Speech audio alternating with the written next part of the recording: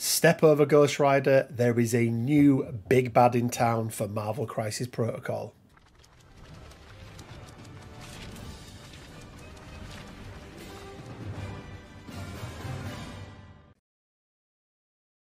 Hey guys, Rich from Richmid Gaming. Hope everyone is doing fantastically well. And this is a video that I didn't know I was going to be making. Um, I was making a completely different video. Um, I was having a conversation with Quinn and a couple of the other guys the other night, and they sort of said, "Oh, it's been a while since you've done any of your maths videos." Uh, and what do I mean by that? Well, we'll look at every single character in the game and work out, you know, which character is the quickest or work out which character can do the most damage in a single attack. So I was actually doing a video, and it will still be coming out, uh, around which character or which individual character um, can deal the most damage across the board in a single activation. And I was going through the list and, you know, going through as normal and we'd set some boundaries and things like that. and I got to an interesting character. And that character is, of course, none other than Nightcrawler. And I read Brimstone Blitz. So usually what I do with these videos is I'll say, okay, you know, if they've got a flurry, they get to hit the flurry and, you know, they then get to do it again sort of thing. But there's nobody else really like Nightcrawler in the fact that his Brimstone Blitz just keeps on going and going and going and going. Now it does need to um, it does need to target the same character every single time, but then it got me to thinking like, what is the potential of this? Um, so if we take a look at uh, at Brimstone Blitz, so you can see here it's a range two, it's five strength, and it costs one power, uh, and it's add dice to this attack equal to the number of times this character has been placed this turn. And then on a crit and a hit, you get Flurry of Blows. After this attack is resolved, this character may make an additional attack action. This attack must target the original character. So that attack action can be a teleporting strike, which is his other attack, or it can be another Brimstone Blitz. Now, he has another ability called Puff of Smoke. When this character makes an attack after damage is dealt, this character may use this superpower, place this character within two of the target character.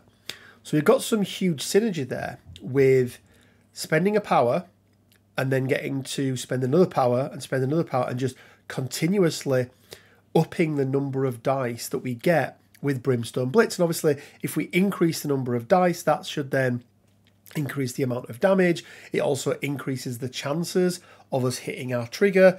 So it should get easier and easier and easier. Um, and I was thinking about like who, you know, who in the game um, is the toughest character in the game, right? Who is the hardest character to take down in one fell swoop? And I looked at a couple and, you know, there's, there, there could have been one other one, but Hulk has a couple of things going for him. First of all, he has four uh, physical defense. So it's going to be four dice uh, for the most part, four dice uh, on his defense rolls. But obviously, the big, big one is he has 20 stamina on his front and he has no back. He is obviously KO'd. So I then got to, um, went over to Cerebro and a big, big shout out to the guys at Cerebro because I use them for all my dice calculations and thought, well, okay, how many of those attacks using average? We always use average damage. Um, so you know, if you were to roll, if you were to roll the same dice a million times and then divide each of the results by a million, you would then end up with with these results. So that's the way that we do it. So, you know, obviously going in with attack number one with only five dice, we'd do 1.4 damage. Two dice, we would have 1.87 damage um, attack three with seven dice, 2.3. So, and you can go down, you can see that we would need to do seven attacks in total um, to be able to do what we need to do to Hulk. Okay, so then we know that. However, there is one other thing that we need to consider as well, which is the percentage chance of this happening. Now, I looked and saw that the trigger percentage for on only five dice was 39%. So more than you know more than a third of the time on that first dice you're going to get the trigger. Then it gets easier, 47%, 54%. But the way that probability works means that um, when you add all of those together, it gets infinitely harder to achieve everything. And that is the problem. So overall, we had a 2.88% chance uh, of this happening, um, which is, you know, pretty low, um, to say the least. To give you an idea, um, um giant, what's the name? The uh, giant, super giant, there we go. Super giant spender has a 6.55% chance of triggering uh, without any out- outside help. And that is that costs eight and it just immediately KOs a character, irrespective of which side of their uh, their card they're on. Um, so okay, we had to do some work with this, but we had some other problems as well. So yes, problem number one was power generation. How on earth do we get the power that we need to be able to do these seven attacks? And just to outline, because I don't think I'd done it in this video right now, I got in my head, okay, can Nightcrawler one shot, one shot in a single activation, a Hulk? Okay, well, we know it's possible uh, in terms of the numbers. Now we need to work out everything else. But I sort of took it one step further and it was, can Nightcrawler do this round one? So he doesn't have a whole bunch of power. Um, he doesn't have um, any, you know, the, the, he's not taking damage or anything like that. Hulk's not already on half health or anything. Um, so let's have a look. Let's start with let's start with Nightcrawler. Um, so we know that Brimstone Blitz costs one power, and we know that we need to do seven of them to be able to, on average, take down a Hulk. So we have seven power required, and so far we've got one from the power phase, which is obviously going to be a little bit of a problem. But that's not the only attack that Nightcrawler has. We also have a teleporting strike, which is a five dice, uh, which from you saw before is going to do on average one point something damage. Um, so that's going to give us an extra power. So that's now two power uh, that we've got. Um, we can then look at cards like Advanced R&D. That can give us an extra power. So that's three power that we're on now. Um, and then there are characters like Wong who we can put in rosters. Um, so he can give us one power, but even then, we were still only up to four power in total, right? One from the power phase, one from advanced R&D, one from Wong, one from teleporting strike. Still nowhere near enough you know, compared to what we actually need to be able to get these seven attacks off. So we had to start looking elsewhere. And where do you look? Well, you look at leaderships. So I thought I would start out with Scott Summers. He's obviously the leader or one of the leaders that uh, is in affiliation for Nightcrawler. So I thought that could be quite good. And he has the leadership X Men Blue. When an allied character deals damage to an enemy character with an attack, Another allied character within five of the attacking character may gain one power after the attack is resolved. I was like, okay, well, you know, if we if every other character, let's say that you were going four wide, five wide, so four not including um, not including Nightcrawler, um, let's say they all get one attack off each, they all do damage, that's four power plus then the four power that we could get from the likes of Wong and Advanced R&D and all, all those sorts of things as well. We could get to seven or eight power, um, but it's going to be very, very difficult indeed. Okay, so who else generates power as part of their leadership or can redistribute it? Well, Black Bolt can. Black Bolt as King of the Inhumans. During each of your turns, one allied character may spend one power at any time. If it does, an allied character within three of it um, the chosen character gains one power. Um, okay, so we've got characters like Lockjaw, so we can activate Lockjaw. Lockjaw has you know four power when he activates. If he does nothing with that power, um, we can just keep siphoning that in to um, to, to to Nightcrawler. But again, um, it was it was a lot more difficult. It, it wasn't it was only once per turn. Um, you know, we had to generate the power to do things, and I was sort of getting into my head at this point that you know I w- I don't just want this to be a fluff list. You know, I want it to be something that we can actually play. Um, so okay, who else? Who else can do it? Well, Magneto can do it. Magneto's got From the Ruins, um, and this will allow us to generate power not only on our turn but potentially on our opponent's turn as well. Um, so every time we destroy terrain, if it's a size three, we then get to distribute three power out to to uh, to, to, to three different characters. So it's again once per turn.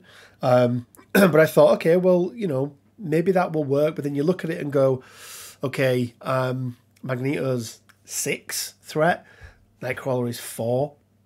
You're probably then taking the likes of Juggernaut. You're already at 15 power. You just don't have the breadth of characters to be able to generate that power that's needed. So probably not viable. And then lastly was She Hulk. Uh, she's obviously got the defenders of Arcadia. Um, this is a power every time one of your characters is injured or sorry is takes damage. Um, but again, it's reliant on your opponent do it. It's nothing we can control. And then I had a moment where I realised Red Skull. Now, whilst Red Skull um, is not a character that you see a lot, I still think as a leader he's pretty damn good, and he has a very nice leadership and a leadership that works perfectly for what we need.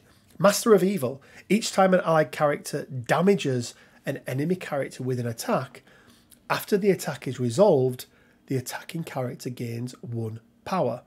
And there's no limit to this, whereas all the other ones are once per turn. There is absolutely no limit to this whatsoever. So all we need is one power on Nightcrawler, and as long as we do one damage every attack and we get the trigger, we're going to be able to do it essentially infinitely. Um, so, and it's only going to get easier and easier and easier as we as we go through. Um, so yeah, this is going to be, guys, the core of things. We've got Red Skull, we've got advanced R and D, we've got characters like Wong, um, and I feel like now we are getting into the realms of being able to generate the power and get what we need to get Nightcrawler sorted. Um, so with all of that done, it leads us into problem number two. Yes, I've mentioned it once already, but I wanted to make the roster viable. Um, I didn't want it to just be a fluff roster. Um, I wanted them to be characters in there. I wanted there to be tactics cards in there that could have multiple uses. Um, and, you know, this be a roster that on the odd occasion where you can get this off, you can try and do it. But outside of this, it's still going to be a, a competitive roster and something, you know, using characters and not putting all the eggs in one basket every single turn, and that's the only trick that you've got. Um, so that was that was a big, big problem for me. But I felt like with the breadth of characters we had in Cabal, I think there's something like 34 affiliated characters in Cabal now. Not all of them accessible to us. You know, we're not going to be playing a Malekith. We're not going to be playing any of the other Red Skulls because obviously we need the OG Red Skull. Um, but plenty of good characters in there and plenty of characters uh, that um, can potentially help uh, Nightcrawler achieve what he wants to achieve as well. So I was happy with that. I was confident and happy that we could build a a roster that would work um, within the parameters of of what we set. Um, and then I started doing my maths again, and I realised that we had another problem. Yes. So, if you remember, we had this 2.69% chance of uh, of being able to do this attack. Um, but then I realised that when I was doing my maths, I had not accounted for something, and that is, of course, Hulk, not Puny Banner. While this character is defending against mist, sorry, against energy or physical attacks during the modify dice step, it may use his superpower. It may reroll any number of its defense dice, including failures. So I reran the numbers and I had a look at what it would look like. And whilst the percentage chance has gone down significantly. We now need to do eight attacks rather than just um, rather than just the seven. The big big problem was the average damage on that first attack. It was less than one, and that meant that if we don't get the attack off or we don't do damage, we don't generate the power. We need both the damage and the trigger to go through. Um, and then I got thinking, I was like, okay, well, I've, I've done my maths here based on Hulk being able to use Hulk Not Puny Banner every single turn. But that won't be possible because we're not going to be doing enough damage into him every single turn that he's going to generate enough power. So what does it look like if we start him off on, say, 4 power, just for argument's sake, so he can do it the first time. And whilst it um, didn't really change much, if I'm being honest. It really didn't change much. There were still two glaringly big problems here. Average damage was 0.81 on that first attack, and the overall chance of getting all of those triggers was 1.69%. And at this point, guys, I thought, well, do you know what? It was a fun little idea for a video, but that is probably it. The video is now probably done. Um, it isn't viable. It's never going to be viable. I was thinking we could get this to, you know, using that six and a half percent that um, uh, Supergiant had. I was like, oh, if we could get to like a twelve percent or even even a twenty percent chance of this going through, um, then that'd be absolutely amazing. Um, but yeah, the reality is, it just wasn't possible. So I left it for a couple of days, and then I was sat down. I was building a roster for for something else, and I was looking at the um, the last couple of tactics cards that I wanted to put in there, and this card came up, and it just triggered something. So marked for death, unaffiliated, two allied characters that are within five of the same enemy character may spend one power each to play this card. This round and this round alone, the enemy character loses and cannot gain stealth. That's fine. Its speed becomes short, well, that doesn't really change anything. And it cannot modify or re-roll its defense dice. Bingo, we have solved the problem of Hulk not puny banner, but unfortunately, that wasn't our last problem.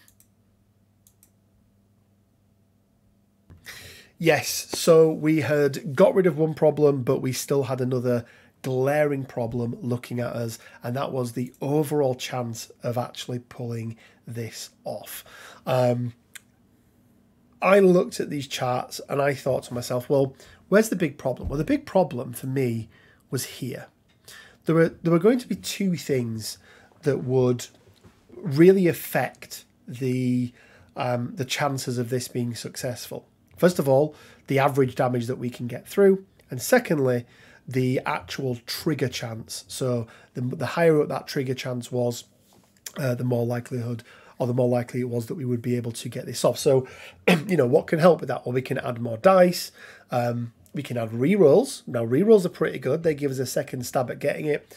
The problem with rerolls is that most rerolls in this game are either on leaderships that you've got access to, so the likes of uh, Cable, the likes of Daredevil, so on and so forth, um, or even Black Panther, but they cost power, or you can only do them once per turn, or they come on characters that can give rerolls to other characters, um, but they generally cost power. And remember, we were doing this round one. So what I needed was an infinite source of rerolls that weren't going to cost any power either to the character giving them out or indeed to Nightcrawler himself. And of course, enter the Baron. He was the perfect solution for this. Not only is he Cabal affiliated, so he's going to help us make sure that we've got enough characters in our roster for that leadership, but he brings one of the strongest innate abilities in the game strategic genius. This character and allied characters within two may re-roll one die in their attack or defense rolls. No ones per turn, no power cost, it is just there, it happens all the time. Brilliant. So we reran the numbers and it went up a little bit, like a little bit. Every single trigger went up as a percentage, as you can see, the average damage that we were doing went up as well. Um, but the overall chance of doing this was still only 3.93%. Um, and I started looking a bit more into the numbers and I realized what I needed to try and do was reduce the amount of tax, sorry, reduce the amount of attacks um, that we were having to do to be able to do this in the first place. And there are two glaringly obvious numbers for me. Um, 1.4, so after attack number six, Hulk on average is only having 1.4 health left, and we're overkilling him by 3.61 on that last attack. So we need to find a way to be able to eke out another 1.4 damage on average across all of those attacks we're going to get rid of that seventh attack entirely, and it's going to seriously, seriously increase our chances of being able to achieve this.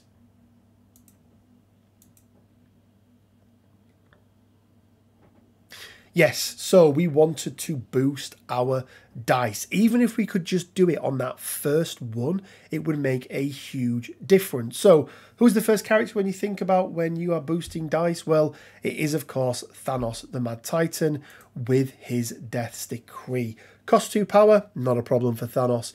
When another allied character within 4 of this character targets an enemy character with an attack, this character may use this superpower. If it's healthy, add 2 dice. If it's if it's on its injured side, it's four. But this was turn one. There was no way that we were going to be on our injured side.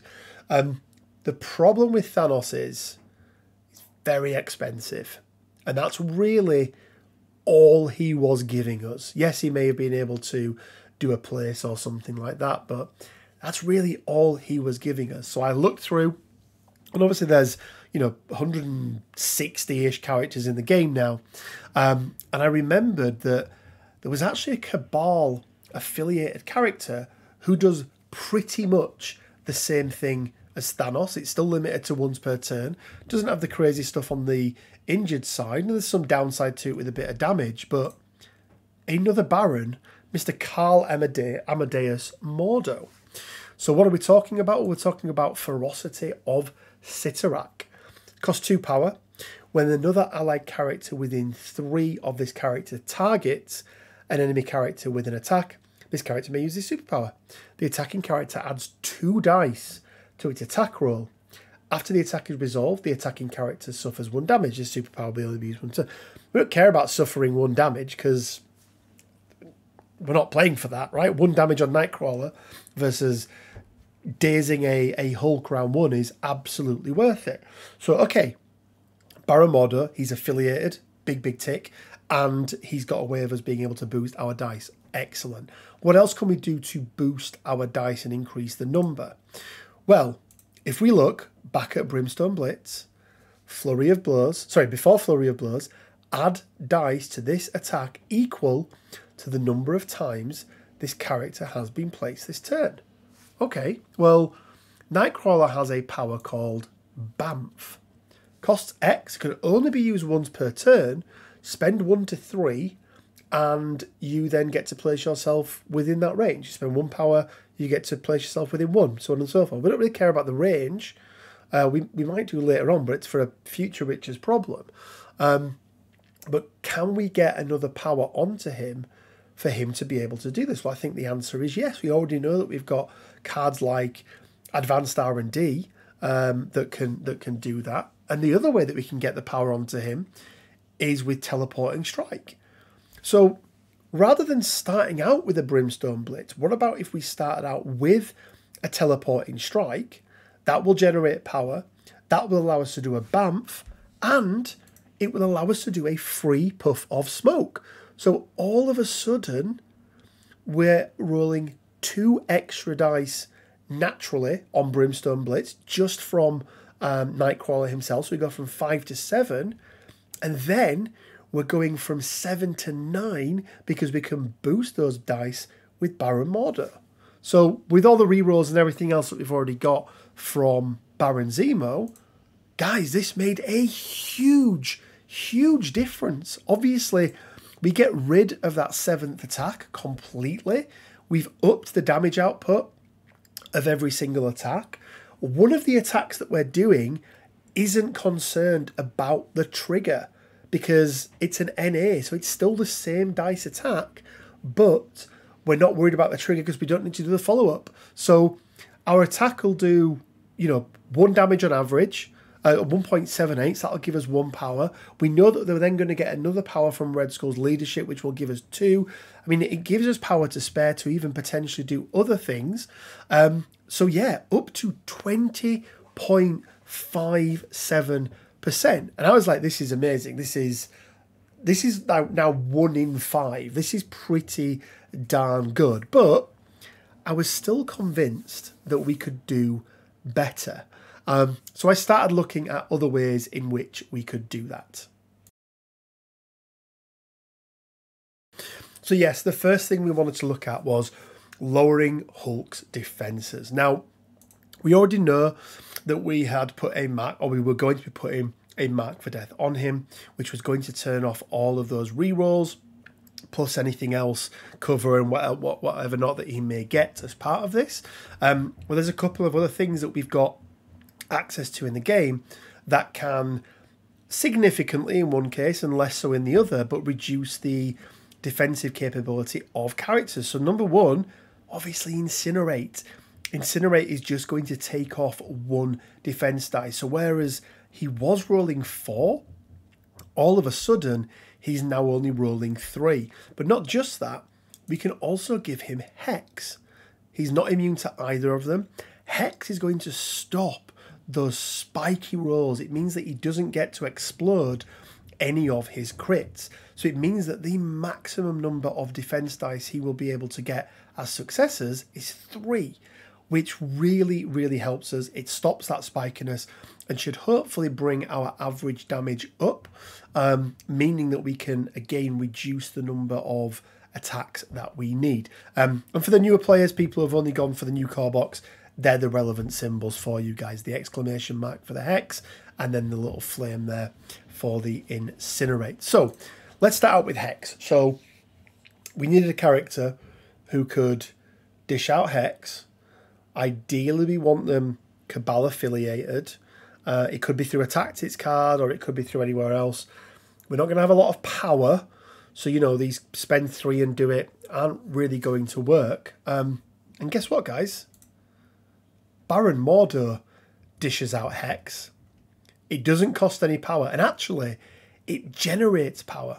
So whereas I thought we were going to have to use Master of the Occult to generate the two power that he needs to then be able to um, do a Ferocity of Cyttorak, if we look at Bolts of Bishru, after the second resolved, gains one power. Well, that's perfect because he's going to start with one. And if we can get one more onto him, then that's brilliant because guess what? That's the two power we need for Ferocity of Cyttorak. And on a wild, it's going to dish out Hex. So this is amazing. So again, ran the numbers, put it through, and it, it, it made no difference whatsoever. Uh, I mean, it did make a little bit of difference. Like, you know, it, it, it, it didn't increase our overall chance of of getting it. Um, it did slightly increase the amount of damage that we were doing per attack as we expected, but it was nowhere near enough to make such a big difference where we would be able to get rid of attack an attack completely. So, okay, park that to one side. We still have some other tricks up our sleeve. What about incinerate? Okay, incinerate. This is probably going to be the better of the two. Lowers his defense. It's taking away what 25% of the of the dice that he gets to roll is taking away so this should have a a much much bigger impact. Um who can dish out incinerate? So again i'm going through the character list looking through and i stumbled across something uh, that i can't believe i didn't think about before. Um, but it is of course the other baron mr baron strucker. He's still a three threat. Um, he has got a plasma blast which on a wild is going to dish out incinerate. It's not going to generate in power because in the rules of this, he's not going to do any damage to him. We want Hulk to be on a on a fresh twenty stack, um, but he also has strategic genius. It's the exact same ability as Baron Zemo. Now, unfortunately, what we can't do is use both Barons, Zemo and Strucker, simultaneously and get two free rerolls per attack. That would be amazing, um, but unfortunately, not possible. Um, but this guy's a better option. Not only does he have the rerolls, he's got other things that he can bring to the party as well. So, sorry, Zemo, you're out, and Strucker, you are in. So, again, we ran the numbers, really excited about this one. Um, you know, like I say, one less dice. All the other bits, you've got the boosted dice in here. Um, we've also got uh, the rerolls from now Baron Strucker. And, and once again, it didn't make any difference whatsoever. Um, still 20.57%. That was it. That was it. Um, so I was like, right, okay. Both Mordo and Strucker are going to be in the roster. They're going to be in the squad. They both dish out Hex and Incinerate. They give the boost, they give the thing. So actually, we can use all four together, and maybe that makes a difference. And guys, it did. It did make quite a big difference. And the reason again is we were able to get rid of that attack number six. Now, this is just by the skin of our teeth. This is overkilling Hulk by 0.01 damage. Like it was, yeah, absolutely crazy. But, but 28.73% chance of getting this off. Um, and guys, it's looking, it's looking pretty good. I mean, I was really happy with 28 nearly 29%. And what do we have to make that up? Well, we've got obviously Nightcrawler in the in the core. We've got Red Skull. We've got Baron Mordo. We've got Baron Strucker. And we've got Mark for Death. And we've got Advanced R&D. Um, and if you work that out threat-wise, um, you've got four for Red Skull, four for Nightcrawler. So that's eight. Plus three then is going to take you up to 11. Plus another three is going to be 14. So we've got some room here to be able to add some extra characters because we're not even at the minimum threat level yet. And quite nicely, we only have one unaffiliated and three affiliated characters, meaning that we don't just need to limit ourselves to looking for uh, characters within Cabal. We can look elsewhere as well. So it's at this point I decided that we would enlist some additional help. So I started off with Cabal because I was like, well, you know, what? Why not? Why wouldn't we? And the first thing I thought about was that one of the big things that made the big difference was those re-rolls. If we can get re-rolls in, especially on that first um, brimstone attack, and we can increase that probability of getting the trigger on that first one, I think it will really, really help. So, who gives out re-rolls in affiliation? It's Arnim Zola. So Hydra Engineering is going to allow him to spend up to three power, um, and they can reroll up to three dice. Um, now he only starts with one power, but in my head I was thinking, well, we can use advanced R&D, we can put another power onto him, um, and maybe we can even get a prototype weapons off. Um, so if we get an advanced R&D on him, that's two power. Get a prototype weapons, that's another guaranteed power. We could potentially get one from uh, rolling a, a crit as well, because that scientific hubris gives him another power. But we just stuck with the three rerolls for these particular examples.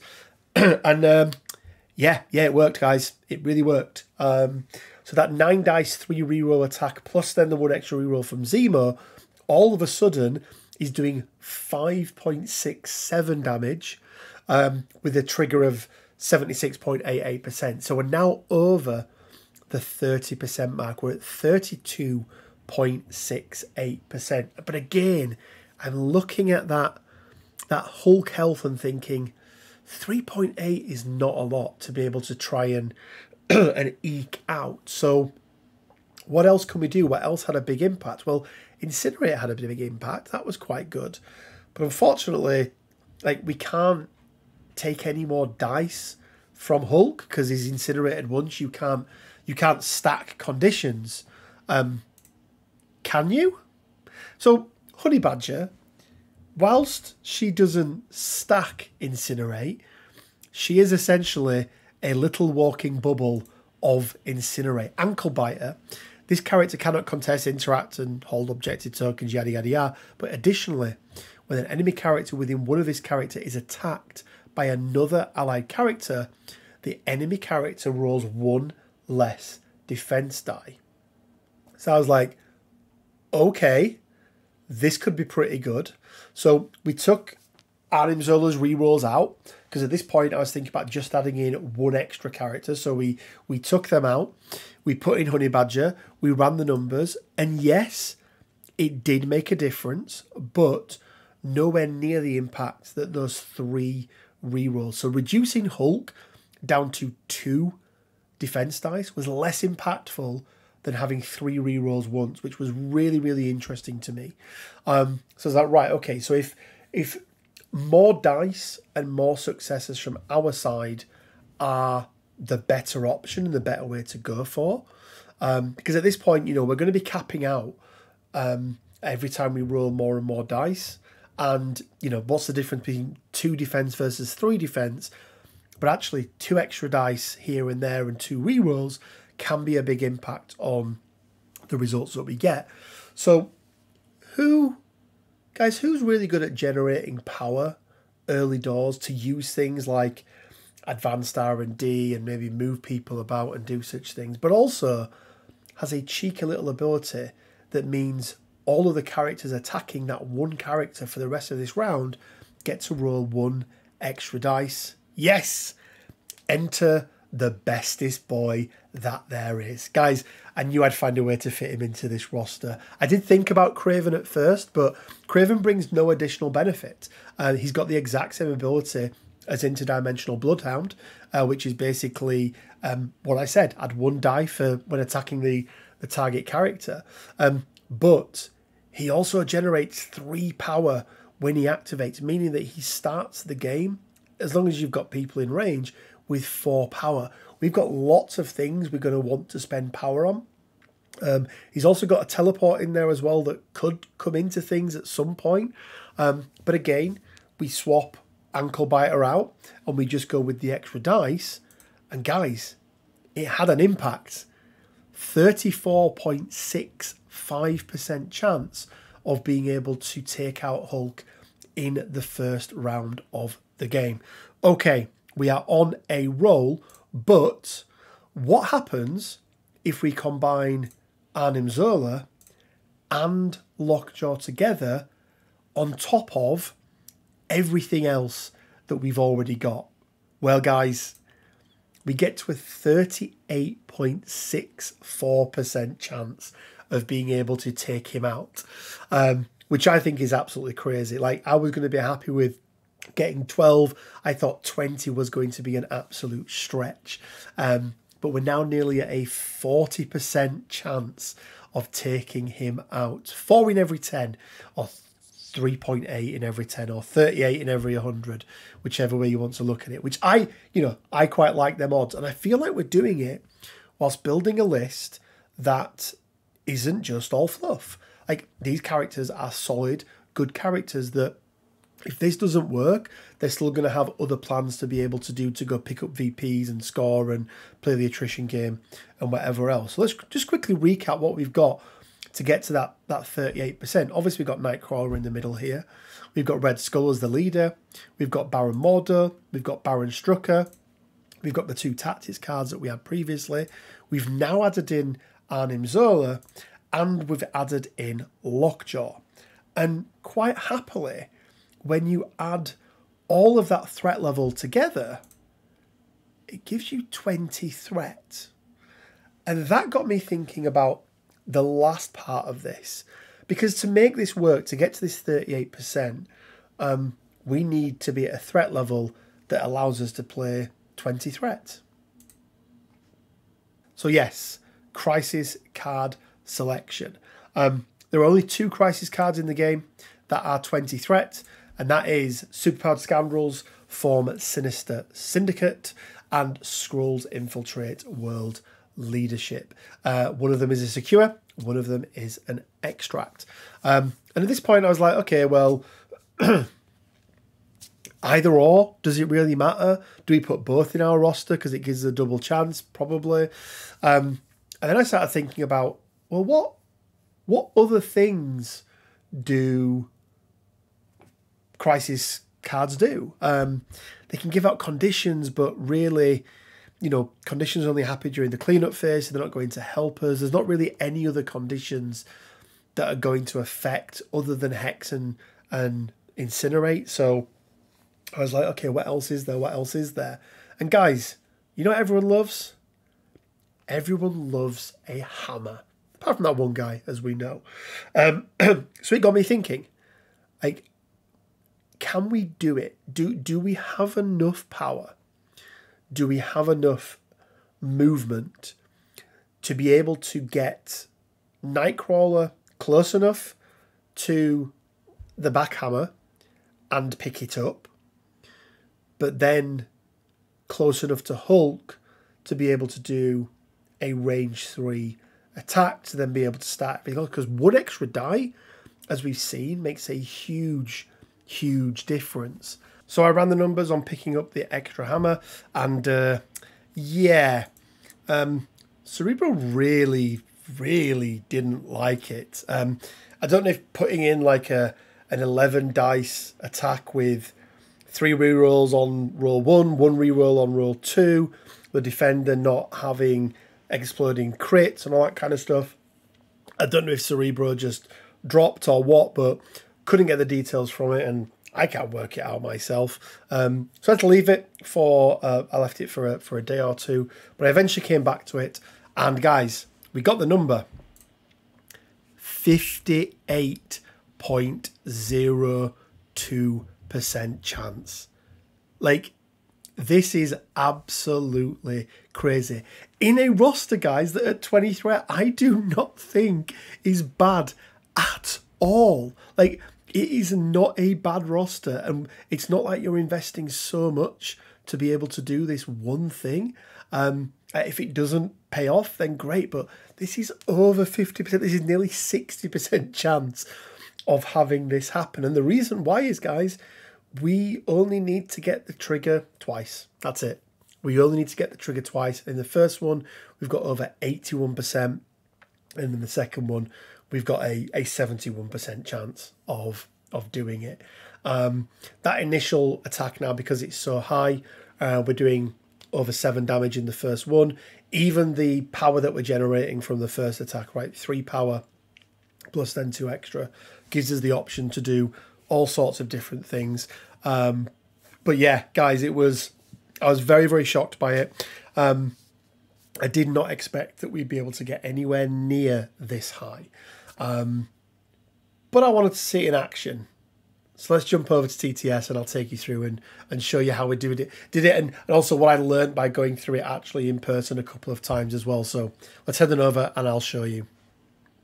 Okay, guys, so here we are. This is our setup on TTS.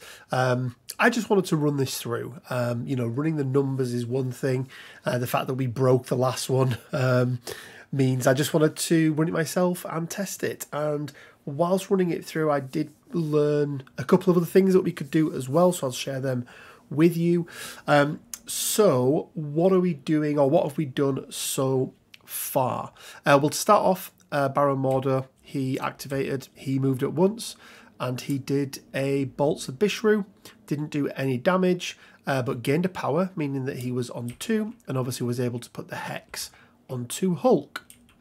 Next up, we had Baron Strucker. He also walked up, he did a single attack, did no damage, but was able to uh, get the Incinerate onto Hulk as well. Then this is where it became a little bit interesting because I was playing around with things and we went first of all with Red Skull. Now, why Red Skull? Well, he can use the Cosmic Cube and he can generate himself uh, three power, putting him on four, meaning that he's got enough power for Master of the Cube. So we used that and we portaled Nightcrawler up from here to here, meaning that he was both within one of the hammer to pick it up, but also within range three of the Hulk to be able to do his first attack. But it meant we had a power left over. So we used that power on advanced R&D, which meant then when we went to go activate Lockjaw, Lockjaw started with two power. The three from Who's a Good Boy meant that he was on five, meaning that we had enough to not only do an interdimensional Bloodhound and make sure everyone's getting extra attack dice into Hulk, but we were also able to use a teleport on Arnim Zola, uh, who again, as as per the rules, did no damage, but he did get the extra power from the two attacks with the wild sorry with the crits that he rolled as well putting him on five meaning that we've now got access to five rerolls rather than the original three. Um, so with all that said and done guys let's activate nightcrawler and uh, yeah let's start to roll some dice. There's one thing that you'll notice we do not yet have marked for death up um, and the reason for that is we want to try and get lucky with this first attack from Nightcrawler. We need to generate two power to be able to make it work, but if we can do, it will be very much worth it. So let's start off then. Let's pick the hammer up and let's put that onto Nightcrawler. And we're going to be starting off with a teleporting strike. Um, this is going to be five dice base. It's going to be one extra dice for the hammer, and it's going to be one extra dice from um, Interdimensional Bloodhound. Hulk is just going to be getting his three. So we'll roll our dice first, see what we get. And that's going to be a couple of crits that we get to roll in. Let's now do Hulk's. Remembering that he cannot add in those crits and Hulk has blanked out. Well, what a start this is. We do get one reroll on here which is another success. So six successes in total.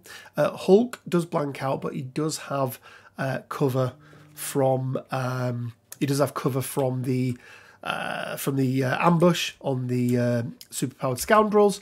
So that will be five damage going through, which is a pretty good start.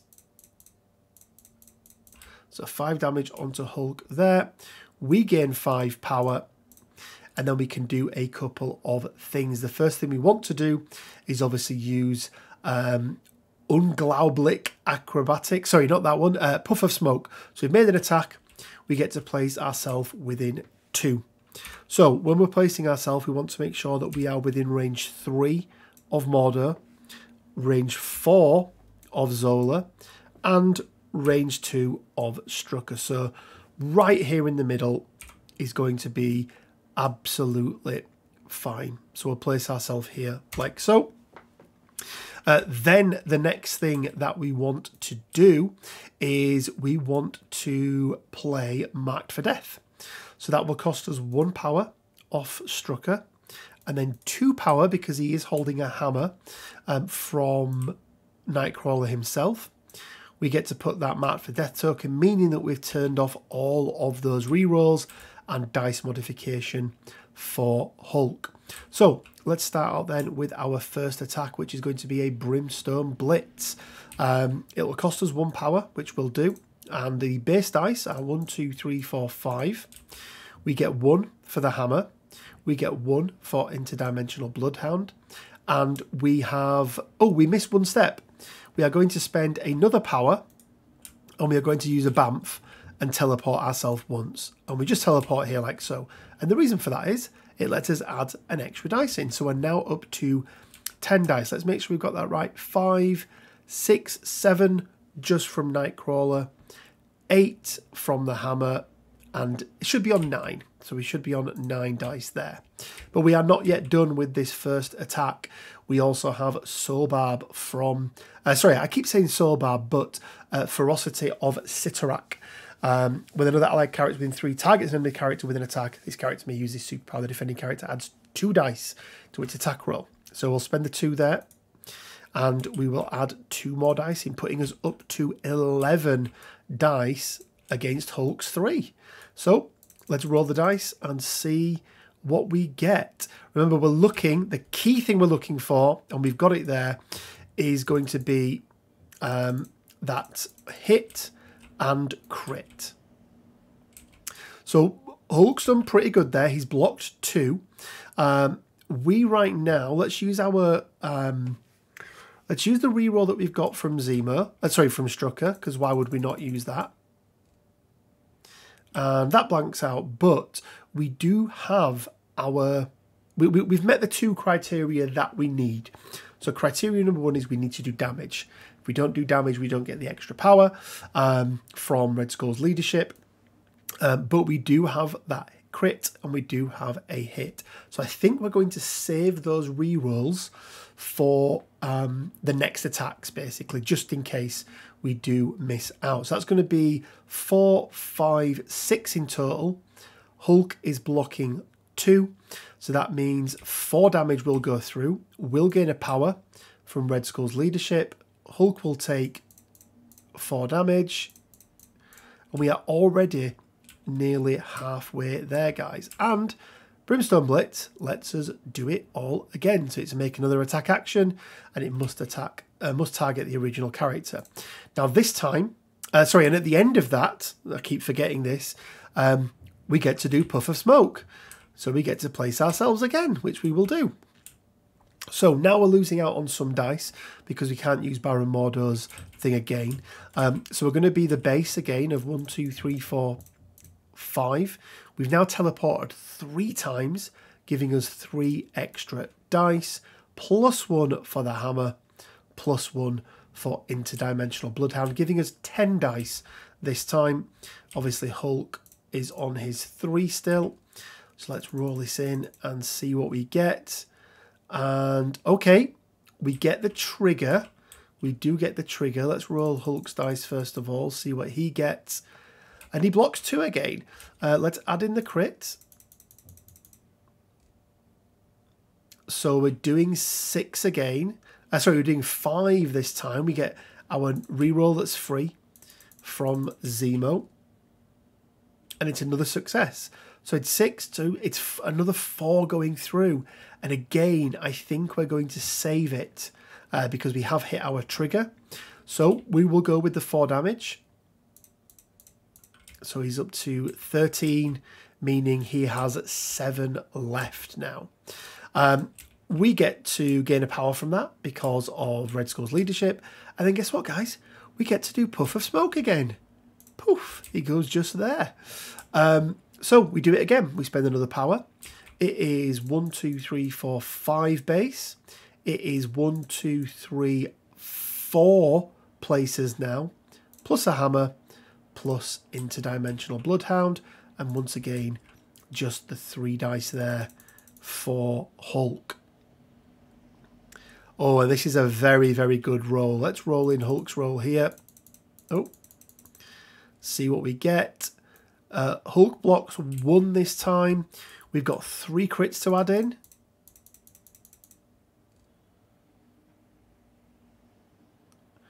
Which is going to put us on to 10. We get our Zemo reroll. Nothing there. And for the first time, we are going to spend two power on um, Hydra Engineering uh, to allow us to re-roll two dice again. So let's see. We may not have even needed to do that, but that's going to be 4, 8, 9, 10, 11, down to 10, which, guys, 1, 2, 3, 4, 5, 6, only 7 can go through, and that is a Hulk taken down in a single activation from Nightcrawler. Yes, I know there was a lot of other things around there, but I just wanted to see for myself how the dice would roll. Um, but guys, I think it is pretty brutal indeed. I mean, guys, I don't know about you, but and this is this is absolute honest truth. Now that was the first attempt of do, doing it, absolute first attempt. And yes, I know we took some liberties, right? You know, we got that number up to so high because you know, I mean, first of all, what is Hulk, Hulk doing all the way up that board, right? He, he would never be there. Um, so we did take a couple of of liberties with that. One other idea I had was that, you know, you could maybe put in a Sentinel Prime, so he could, um, you know, get one power onto him, move up, use the cables or restraint cables, and pull Hulk towards Nightcrawler. Um, and then he gets the power at the end of his turn, so he can give out the rerolls like Zola did. So there's lots and lots of different iterations you could you could go in there. But I was going through this the other night, and I was on on a call with Quinn, and we were talking through stuff, and he's like, "Yeah, but Hulk's not the hardest character to take down. What about like Thanos with reality, or Cosmic Ghost Rider, or Beta Ray Bill? Right, Cosmic Ghost Rider and Bill." Um, they're immune to incinerate, so they're always getting those four defense dice. Um, so I thought, okay, well, I'll run the numbers and, and let's take a look. And uh, yeah, yeah, he, he, he can he can murder them as well. Um, he can absolutely murder them as well. Obviously, that 58% chance there on Hulk, She Hulk's identical. Thanos, guys, was nearly 80%. Um, he cares not for your reduced damage by one. Um, even with this is with the reality gem, even with the reality gem, because we're turning off uh, because we're turning off those um, um, those hexes, so we're giving him hex, we've turned off those crits, and the fact that he only has three melee defense dice, so it goes down to two, is really, really brutal. Um, Cosmic Ghost Rider did better than Thanos, which I was I was quite surprised at. But again, immune to incinerate, always counting failures is is pretty darn good. Um, and also Bill, you know, Bill does slightly better than than Hulk, but I just thought I'd include him in there as uh, as an option. Um, but yeah, guys, if, if if you can if you can get Nightcrawler in the right situation, and we we've used an ex- extreme example here with Hulk, and the idea really wasn't to teach you guys how to beat Hulk with Nightcrawler, right?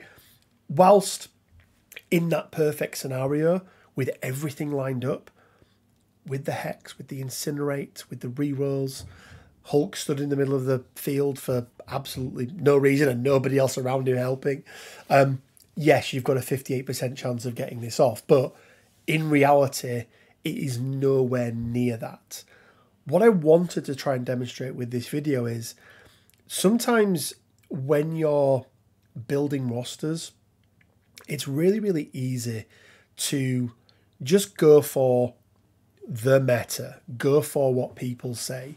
Um, sometimes if you look outside of what a character can do and look how they work and can interact with other characters, it can unlock some huge, huge potential in this game. Something as simple as an advanced R&D on a character that can do something round one with it, for example. This is obviously a little bit more complex and has lots and lots of moving parts. Um, but, you know, even just with a reroll into a character who has five health. Like, it's very, very possible. It's also very, very possible to daze two characters because you can do Brimstone Blitz twice. Now, not necessarily, you know, round one, turn one, or whatever, ever else like that, but um, that was the reason for this video was really to show you the potential of a character who on paper looks pretty good, but when you start to feed into that, you can, you know, he could go on for infinity, basically. Like, as you know, if Hulk had an infinite amount of health, Nightcrawler would just keep slapping him, keep slapping him, keep slapping him, and he'd get to the point where it was guaranteed that he would do it every single time, irrespective of rerolls, irrespective of of anything else. Um, guys, I hope you've enjoyed this video. I had a huge blast putting it together. It became a a puzzle that I needed to solve. Um, and that's what I like about MCP as well. Uh, I like the puzzles that we have to solve. Um, and, you know, whether that puzzle is a Cosmic Ghost Rider or indeed whether that puzzle is the brand new timeline event. And yes, I will be doing a video covering my thoughts and feelings on the timeline events. Um, I had a knee jerk and I may have tempered down from that slightly, but we'll we'll leave that for another video. Um, I also really enjoy getting into the math behind the game as well. I just I just really really enjoy it, um, guys. I want to give a big big shout out to all of our Patreons. Um, they really really do help us by supporting the channel. They do it with uh, from as little as a pound a month. There'll be a link down in the description below, um, and that will take you to our Patreon page. You've got a few options, but as I mentioned, from as little as a pound a month, you can help support the channel, and it really, really does help. Um, however, that's not the only way that you can support the channel, guys. Um, you can do so by liking. Um, apparently, there's an algorithm, leaving a comment. Um, that really helps as well. But also sharing it as well, sharing it across your own social medias, your own gaming groups, that sort of thing. And again, I don't want this to be this is teaching people how to beat Hulk with Nightcrawler. That wasn't the aim of this video. The aim is understanding what the potential of a character is and how we can maximize that potential and take these rules and apply them to every other character in the game. And I guarantee you, uh, you will find new and exciting ways to play Marvel Crisis Protocol. Um, guys, I'm going to leave it for there. Uh, thank you so much for joining me on this video. It's been a, a longer video. I've not done a recorded video by myself like this for a long, long time. Um, if you could do all the things like subscribe, whatever else. Um, also, head over to the Discord. There's nearly a thousand people on there now as well. Um, all things MCP, Shatterpoint, plus a few other things as well. And as always, guys, it leaves me with just enough time to say stay well, keep safe, and until next time, bye for now.